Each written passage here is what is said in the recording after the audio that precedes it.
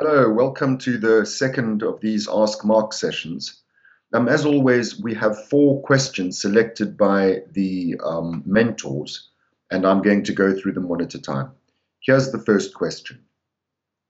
I'm wondering if your conceptualization of subjectivity, and hence of mind, requires a representation or modeling of the self in the brain. That is, do all minded creatures in effect inform themselves of their subjectivity? I am a self that is having this experience, though obviously not necessarily language mediated.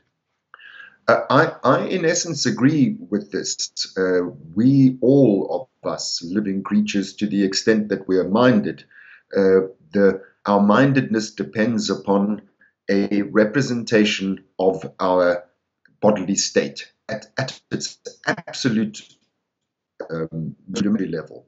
There is a representation the state of my own body, and that is the background sentient being of the mind. And it is primarily affective, not sensory, it's not representational, it doesn't come from the outside. Um, so, to that extent, yes, I absolutely agree with the questioner, and I think that it's important to be clear about that because it is, as I say, so much the bedrock what we call the mind. I would just want to be uh, sure that we are clear, though, when using this word self, uh, mere being in the world doesn't necessarily include the idea of an object called me. Um, to be able to speak of a self requires a certain amount of reflective um, thinking about your states rather than the mere having of them.